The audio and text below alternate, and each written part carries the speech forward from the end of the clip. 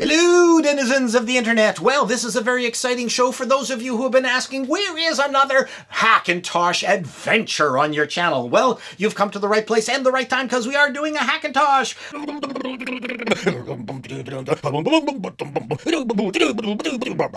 Okay, so as far as the actual build and showing you how uh, we installed all the little Tony Mac, uh, you know, software loaders on the, the little USB widgety doos. Uh, you know, I'm not going to do that because there's a ton of videos already that will show you how to do that. And if you can read, just go to Tony Mac um, X86 and the instructions are very, very clear. Follow them slowly. They're actually easier than assembling an IKEA shelf or, or a couch or a Ballundo or whatever they, Finerndiga or whatever they call them.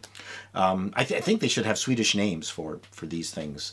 The Sternger. That's what I'm calling this from now. The Sternger. I'm installing it on the Sternger. But I will be showing you uh, just a couple of things um, that I had to solve, which I think might be useful to you. So let's get on with the build. This is going to be a mini ITX, and uh, for this we were inspired by this Cougar Kubi, Kubi, QBX uh, case, which looks pretty pretty cool and has gotten some good reviews. So that's what we're going to be basing it around. Now, because this isn't a super powerful build, uh, we're doing this, we're using a, a, a, Core i5, what, what is it, the 6400? 6400. Right? And we're using, well, a top of the line um, board here, the Gigabyte Gaming Z170N. So this uh, should be a really, really good and compatible Hackintosh board. In fact, we know for a fact uh, it's a very compatible Hackintosh setup. Uh, we've got a Noctua fan, which we're actually quite um, excited about. CPU cooler. It is tiny. It is really tiny. And uh, boot drive is going to be an Kingston SSD.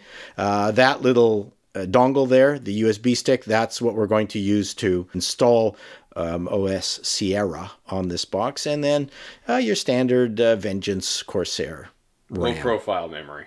Low profile because this is going to be a small box. Although you're supposed to be able to cram a full-size GPU in that thing, aren't we? For reference. Yeah, my son is determined to put this old 6700 in there.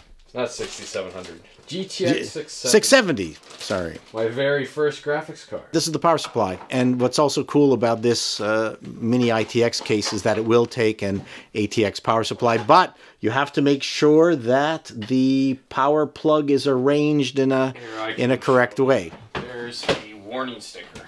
Oh, there it is. Attenzione. Orientation of the power plug. Eh, it's not working yeah, so you have to make sure that you buy a power supply that uh, is properly oriented for this for this box. So there you go.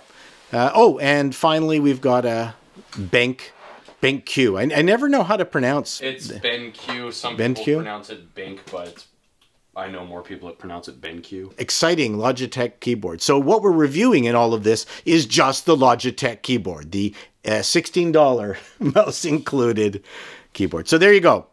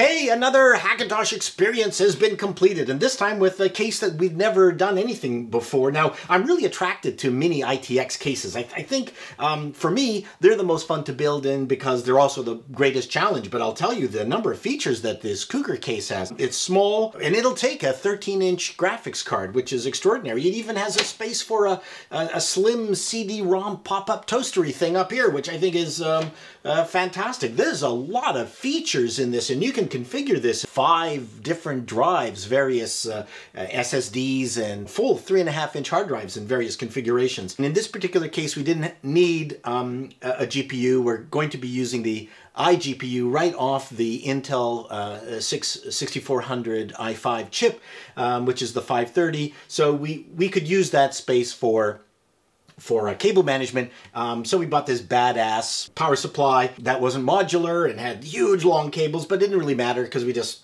stuck it in there. Uh, but if we were going to uh, add a graphics card uh, into another build, then I would definitely get something modular and do some custom, buy some custom cables, shorter ones, so we can have uh, much neater cable management. Just the layout of the this Cougar case is, is fantastic. Now, it's open on both sides. It's got a, a mesh on both sides, so it's great for ventilation, but if you want this to be quiet, then you're going to need to get quiet parts. Really enjoyed the Cougar experience. As far as the Hackintosh build was concerned, well, this was the most insane one that I've ever had to do. For the first time, I had to modify my USB installer. Normally, I would just build the installer, stick it in the computer, and it would, it would work. It would install. In this particular case, I could not get it to install. I kept getting stuck on the language selection screen. Uh, it's always recommended that you um, use a, the USB 2 port on your computers to uh, install. Now, on this particular motherboard, this is the Gigabyte Z170N, and it doesn't have a single USB 2 port. It's got all USB 3 ports. If you're having an issue getting past the language selection screen as part of the installation process with the USB key, this is what I did to solve it for my particular motherboard and for this installation of Sierra. Your mileage might vary. I clicked on Clover. I'm going to mount the EFI partition of the USB device. I'm going to open it. Click on the Clover folder. I'm going to actually drag it on the config plist.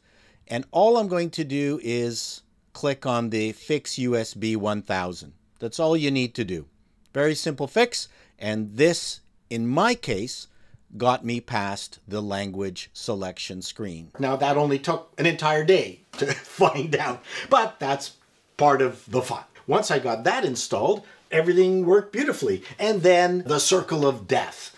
Once I got past the language select screen issue, I had a successful install, but upon rebooting, I ended up seeing the circle of death now. So, okay, more research.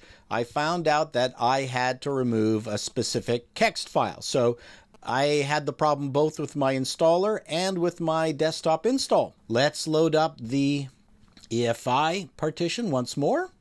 I'm going to go to the Sierra USB installer.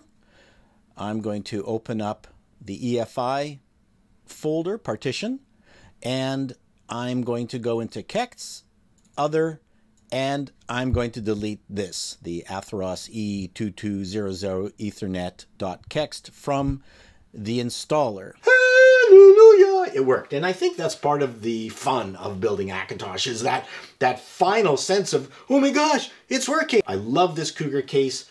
Just a ton of fun to work with. Oh yeah, don't forget to subscribe. Bell thing. Give uh, the video a thumbs up if this was uh, at all useful. Till next time. So long, Internet denizens.